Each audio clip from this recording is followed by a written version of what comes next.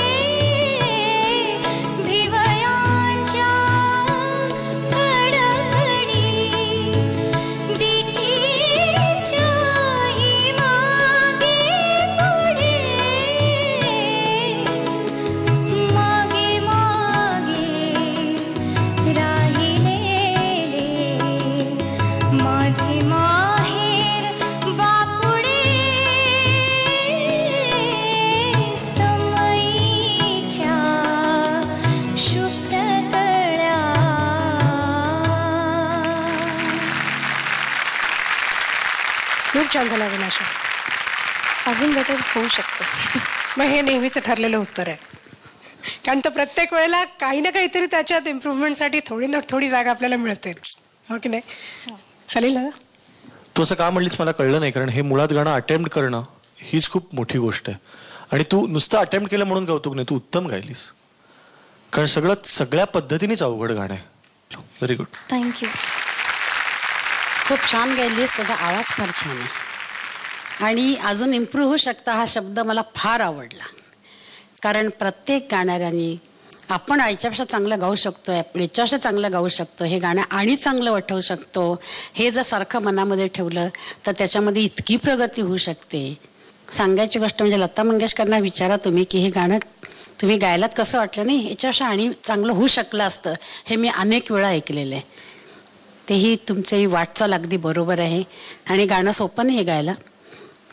गाण्याचे शब्द आणि शब्दांबरोबरची चाल आणि त्याच्याबरोबरचे एक भावना या सगळ्या एकत्र आणणं अवघड असतं. तू एक फॅन्टॅस्टिक गायिका आहेस तू. आणि तू एक चांगली पार्श्वगायिका आहेस. उद्या तुझ्याकडे खूप चांगल्या चांगल्या चित्रपट तुझ्याकडे येणार आहेत. तुझा फॉर्म आहे आत्ता.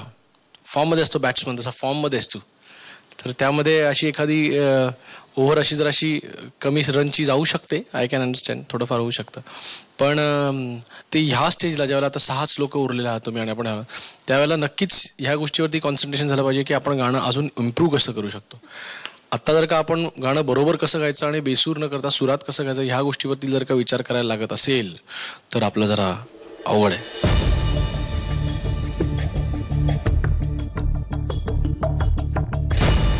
अवधूतनी म दिलाय सलील ध दिलेला आहे.